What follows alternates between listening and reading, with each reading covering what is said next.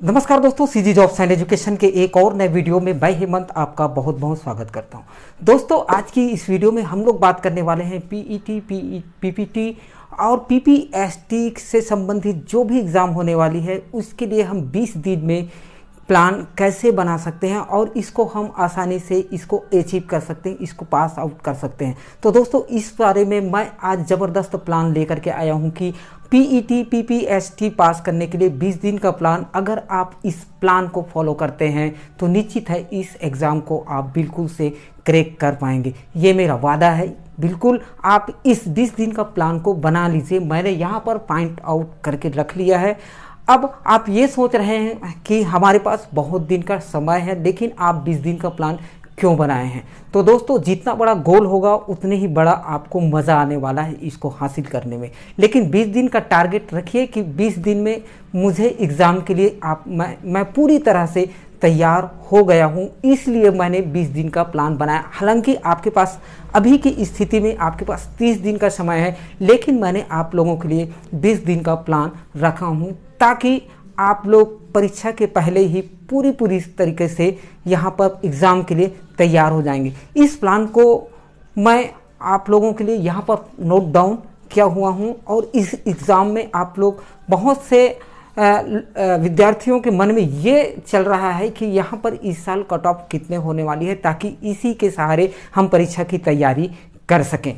दोस्तों, आप लोग कट ऑफ़ के ऊपर बिल्कुल मत जाइए। आप अपना टारगेट सेट कर लीजिए। आप ये टारगेट रखिए कि भाई मुझे तो एग्ज़ाम में कम से कम 90 प्लस से ऊपर मुझे नंबर लाने हैं। ये आप बिल्कुल ठान लीजिए, मैं 90 प्लस से ऊपर लाने में, लाने हैं और लेवल, उस लेवल की आपको तैयारी भी करना होगा। चाहे मुझे कुछ भी मेहनत क्यों ना करना पड़े? आप यही सोच लीजिए कि मुझे 90 प्लस से ऊपर नंबर लाने हैं, चाहे कट ऑफ़ कितनी भी हो जाए। लेकिन आप टारगेट 90 प्लस का बिल्कुल रख लीजिए, अपने मन में ठान लीजिए कि 90 प्लस मुझे लाना है, चाहे कुछ भी हो जाए, तभी आपका दाखिला जो है शासकीय कॉलेज में भी आपको मिल सकता है। चाहे आपका कट ऑफ़ कितना भी हो, आप बिल्कुल आज से अभी से ठान लीजिए कि मुझे 90 प्लस नंबर इसमें लाने हैं। चलिए दोस्तों, अब मैं यहाँ पर आप लोगों को कुछ पॉइंट आउट किया हूँ, उस पर हम बात कर लेते हैं। यहाँ पर मैंने C G P E T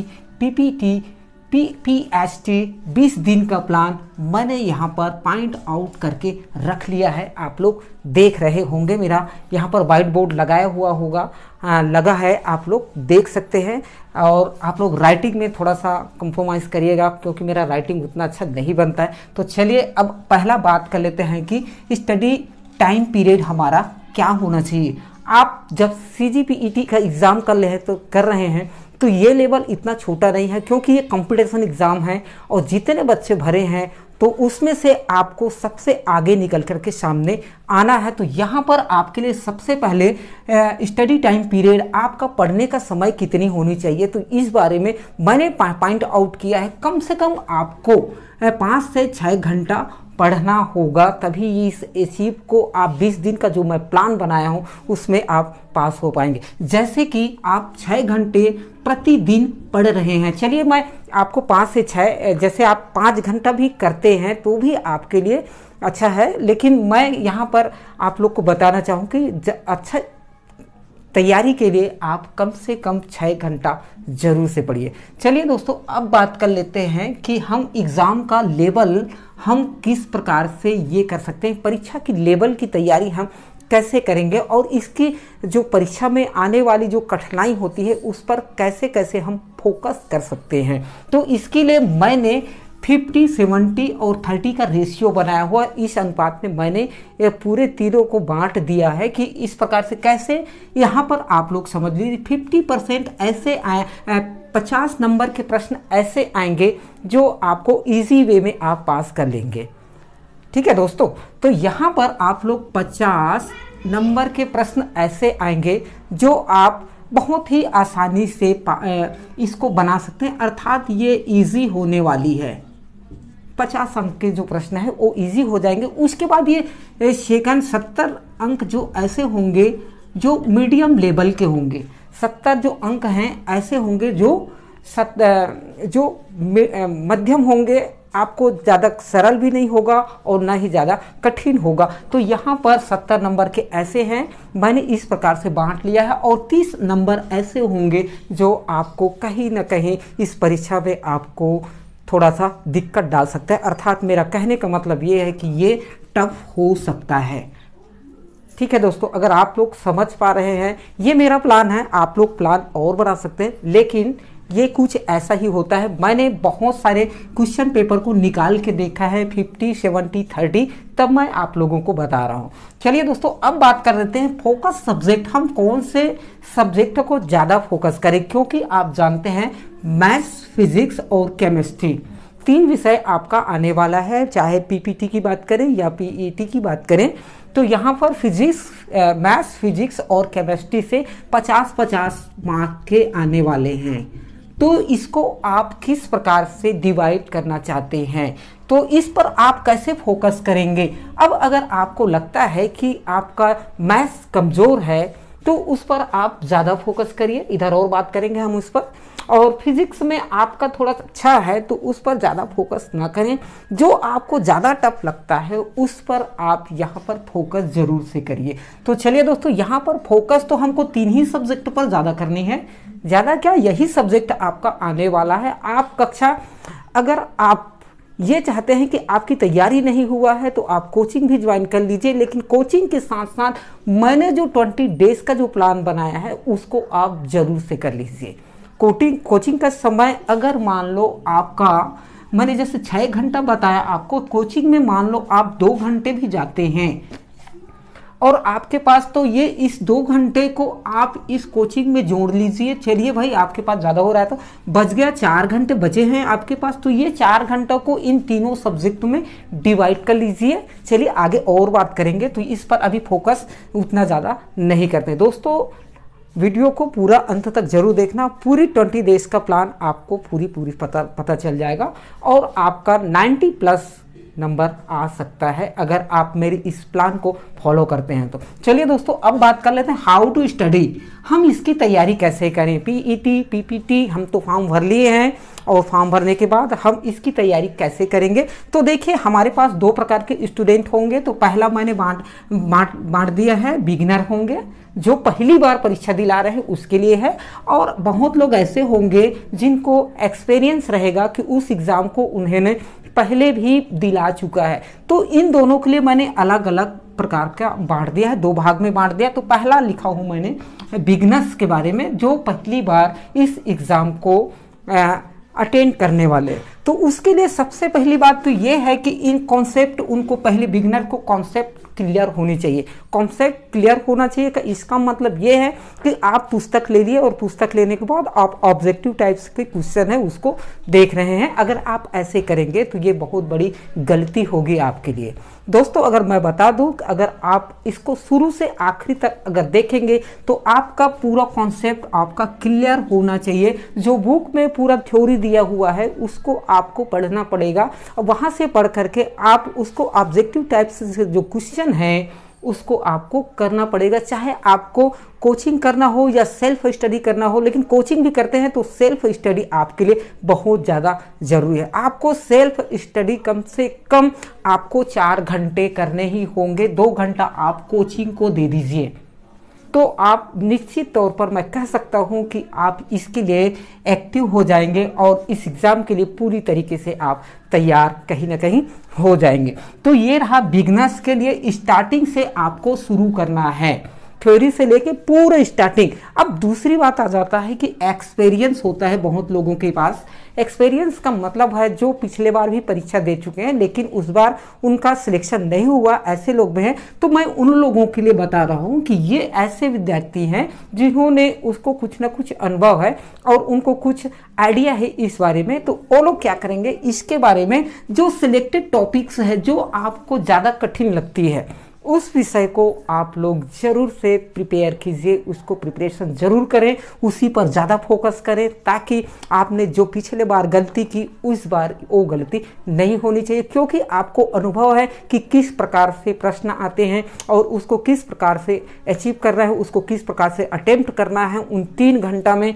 तो इस प्रकार से आप जो है सिलेक्टेड टॉपिक्स बना लीजिए कि आपके पास जो जो कठिन लगता है उस उस विषय को आप ज़रूर से पढ़िए तो आपका यहाँ से क्लियर हो जाएगा। चलिए दोस्तों, अब अगला नेक्स्ट हम देखते हैं। यहाँ पर मैंने थर्ड पॉइंट बनाया है टू सब्जेक्ट पर डे अर्थात दो विषय को आप, यहाँ पर तीन सब्जेक्ट आने वाले हैं फिजिक्स केमिस्ट्री मैथ्स गणित, भौतिक, रसायन शास्त्र तीन सब्जेक्ट आने वाले हैं। तो तीन सब्जेक्ट में आप दो सब्जेक्ट को पर डे आप बिल्कुल पढ़िए, क्योंकि यहाँ पर डिवाइड मैंने डिवाइड टाइम स्लॉट अर्थात मैंने उस डिवाइड कर दिया है दो विषय को इस स्लॉट में कि अलग अलग टाइम में पढ़ें। तो इसके लिए कैसे किया हूँ मैंने? तीन घंटा आप मैथ्स को, अर्थात दोस्तों, मेरा कहने का मतलब ये है कि तीन सब्जेक्ट हमारे पास हो रहे हैं, लेकिन तीन सब्जेक्ट में आप तीनों सब्जेक्ट को बिल्कुल भी मत पढ़िए, क्योंकि आपको कंफ्यूजन पैदा कर सकता है। चलिए, मैं बता देता हूँ, जैसे फिजिक्स और केमिस्ट्री को हम कम से कम पढ़ रहे हैं, है ना? तो आप दूसरा दिन आज अगर फिजिक्स और मैथ्स और फिजिक्स को सॉरी मैथ्स और फिजिक्स को आज पढ़ रहे हैं तो केमिस्ट्री को आज आप खोल के मत देखिए, क्योंकि आपको कंफ्यूज कर सकता है। तो अगला वाला जो समय होगा, आने वाला दिन होगा, उस दिन आप फिजिक्स और केमिस्ट्री को ले लीजिए, या फिर आप मैथ्स या केमिस्ट्री को ले लीजिए। अर्थात मेरे कहने का मतलब ये है कि आप लोग दो सब्जेक्टों को पर डे तीन तीन घंटे के हिसाब से आप पढ़ लीजिए। ठीक है? आप लोग समझ पा रहे होंगे। दोस्तों, उसके बाद मैंने जो अगला पॉइंट आउट किया है, अब देखिए यहाँ पर बात ये आ रहा है वीकली टेस्ट होना चाहिए। आपको मैं छः घंटा जो है सात दिन पढ़ने के लिए नहीं बोल रहा हूँ। यहाँ पर जो छः घंटे हैं छः दिन के लिए पढ़ना है।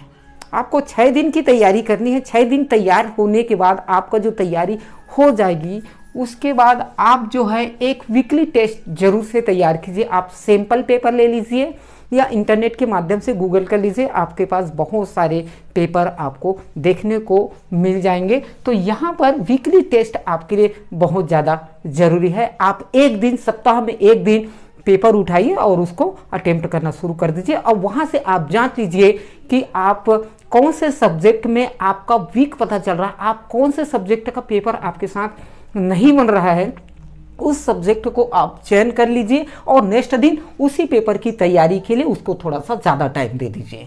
तो यहाँ पर आप टेस्ट में, जिस टेस्ट में आप वीक हैं, जहाँ से आपको कम नंबर मिल रहे हैं, उसकी तैयारी एक बार फिर से कर लीजिए और आने ऐसी कर कर, करते करते आपको 20 दिन तक के जाना है और 20 दिन हो जाने के बाद 20 डेज़ के बाद क्या करें?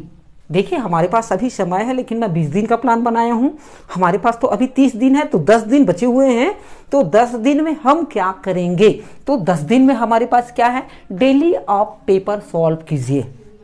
क्योंकि हमारी तैयारी तो पूरी तरीके से हो गई है।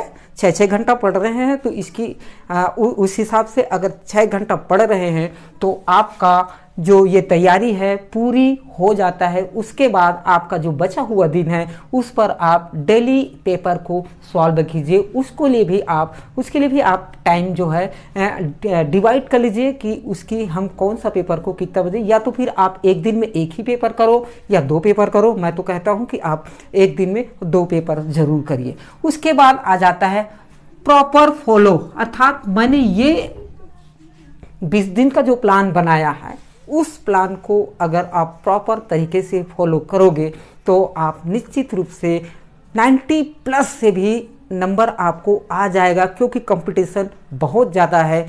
और तो यहाँ पर आपको फॉलो करना पड़ेगा। लेकिन ये ट्वेंटी डेज़ जो प्लान है, उसको अगर आप फॉलो कर लेंगे तो निश्चित है आपका पीपीटी पीएटी पीपीएसटी जो भी सब्जेक्ट है, वो आप बिल्कुल क्रैक कर जाएँगे और आपको इंजीनियरिंग कॉलेज में बिल्कुल दाखिला मिल जाएगा। दोस्तों, लेकिन आप क्या सहमत है इस ट्वेंटी डेज़ के लिए? क्या आपका मन करता है? अगर आप इस 20 डेज़ का प्लान अगर बना लेते हैं तो आपको कहीं ना कहीं मुझे आप ये आप ये ठान लीजिए कि मुझे 90 प्लस नंबर पाने हैं तो वो आपका दिल गवाही देता रहेगा और आप अधिक से अधिक पढ़ने के लिए उत्साहित होते रहेंगे और आप और आप आसानी के साथ कम से कम छः घंटा ज़रूर से पढ़ लेंगे। चलिए दोस्तों, अगर आप कोचिंग नहीं कर रहे हैं तो आप सेल्फ स्टडी ज़रूर से कर लीजिए। अगर कोचिंग कर भी रहे हैं तो आप अपना सेल्फ स्टडी को बिल्कुल से ध्यान दीजिए। दोस्तों, अगर इसी प्रकार से और वीडियो चाहिए तो आप मेरे ऐसे नए नए वीडियो के लिए आप मेरे यूट्यूब चैनल को सब्सक्राइब कर लीजिए। सब्सक्राइब होते ही बेल आइकन को दबाना ना भूलें। दोस्तों, आज का वीडियो मैंने ट्वेंटी डेज़ प्लान बनाया है। वो वीडियो आपको कैसा लगा कमेंट्स बॉक्स में ज़रूर बताइए, ताकि मुझे भी मोटिव हो मैं भी मोटिव हो सकूँ। और अच्छा अच्छा वीडियो आपके साथ शेयर कर सकूँ। दोस्तों, आज की इस वीडियो में इतना ही। चैनल सब्सक्राइब नहीं किए हो तो ज़रूर से चैनल को सब्सक्राइब कर लीजिए। चलिए, आज की वीडियो में इतना ही। और किसी अच्छे कंटेंट के साथ फिर मुलाकात होगी। जब तक के लिए जय हिंद, वंदे मातरम।